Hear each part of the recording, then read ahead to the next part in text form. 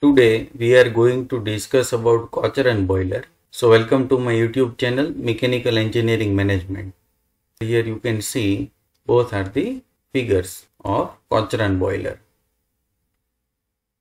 So at the end of this video you will be able to understand features, function of parts, dimensions and specification, working, boiler mountings, advantages and disadvantages of Cochran boiler. So look at this figure of the Cochran boiler. This one is the model of the Cochran boiler. So this figure is helpful to understand this figure. So let's start with the features of the Cochran boiler. So first point, it is a multi-tubular boiler. So here you can see number of tubes are there and so that it is called as multi-tubular boiler. It is called as internally fired boiler because the furnace that is inside of this boiler shell so that it is called as internally fired boiler. Vertical boiler here you can see the boiler shell is in vertical position and so that it is called as vertical boiler. Low pressure boiler. So according to the pressure of the steam there are three types of the boiler low pressure boiler medium pressure boiler and high pressure boiler. It is stationary boiler because of it can't move from one place to another place. Natural circulation of boiler. Here the water circulates due to the density difference so that it is called as natural circulation boiler. It is solid fuel fired because in the furnace coal is supplied. And at last it is called as fire tube boiler because inside of this tube there is a flue gases and so that it is called as fire tube boiler. If the water is inside the tube then it is called as water tube boiler. Now next function of parts. First shell is hemispherical on the top surface. So here you can see this is the shell and the top portion of the shell is hemispherical shape and here you can see where space is provided for the steam. Next, grate is placed at the bottom of this furnace. Here you can see where coal is burned. Combustion chamber is lined with fire bricks on the side of the shell here you can see this is the combustion chamber and this is the fire bricks lining. That is on the side of the shell to prevent overheating of the boiler because here the temperature of the flue gases is so high. So the brick lining is provided to prevent overheating of the boiler. Next there are various fire tubes. Here you can see.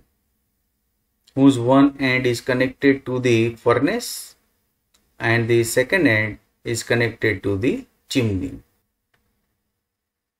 Next, furnace or you can say firebox lies at the bottom of the boiler. It is the place where all the fuel is burned.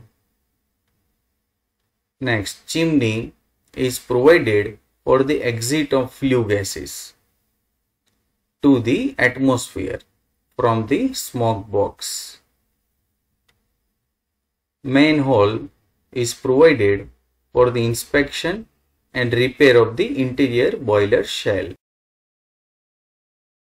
Flue pipe, here you can see, is a short passage connecting the firebox with the combustion chamber. Next, dimensions and specification. For shell diameter 2.75 meter. So this is actually the typical dimension. In actual practice can be a little bit vary in the dimension. So here you can say shell diameter is 2.75 meter. Next height of the shell that is 6 meter steam generation capacity 3500 kg per hour. So if you run the Cochran boiler for one hour, then you can generate 3500 kg of the steam. Efficiency of the boiler is approximately 70%. Steam pressure that is 6.7 bar. Now next, very important part, working of the Cochran boiler. So first, water is supplied to the boiler through this feed check valve. The coal is placed at the grate through the fire hole. The air is entering into the firebox through this atmosphere and fuel is sparked through the fire hole. So produced flue gases start flowing into the combustion chamber through this flue pipe.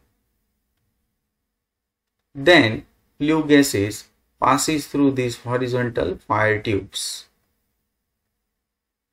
Next, most of heat is exchanged from the flue gases to the water that is outside of these flue gases by the convection.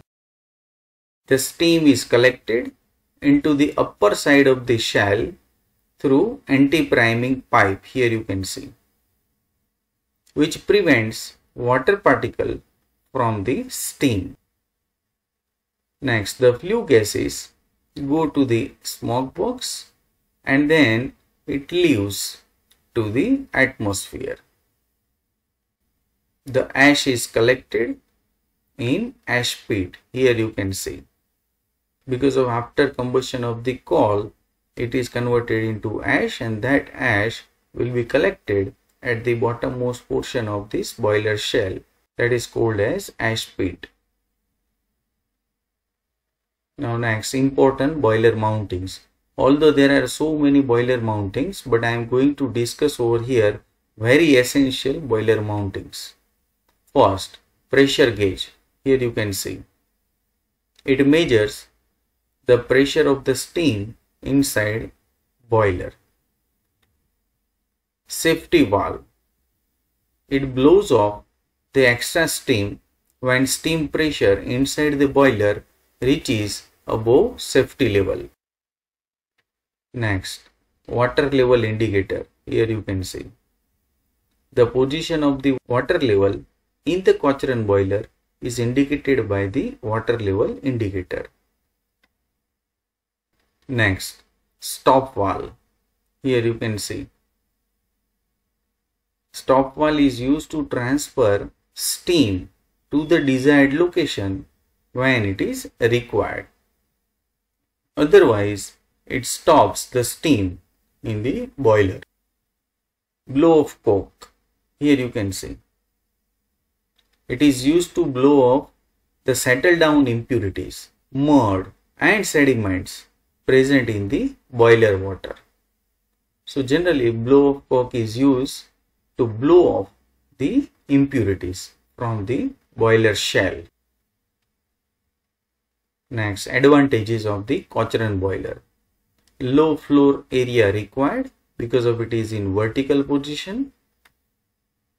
Low initial installation cost. It is easy to operate transportation is very easy for the installation purpose only because of you know that this is stationary boiler so transportation that is in the sense of installation process it can use all types of fuel. Generally it is suitable for the coal but you can use all types of fuel.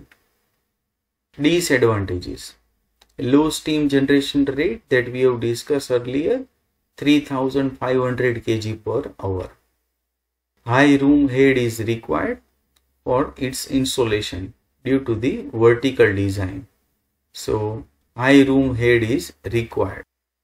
Next, it is difficult to inspect and maintain. So this figure you can use in the examination. Very simple figure.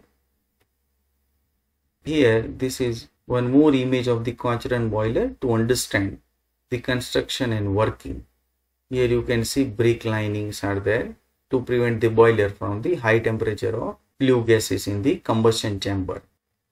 If you want to see more engineering videos, then subscribe my YouTube channel and go to playlist. Thanks my dear friends. Press the like button to appreciate this video.